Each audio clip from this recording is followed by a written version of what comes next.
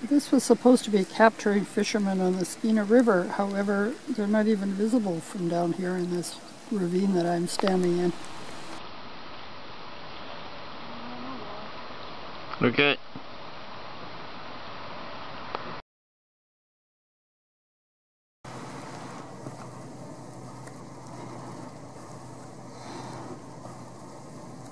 Fishing on the Skeena. Northern Coho.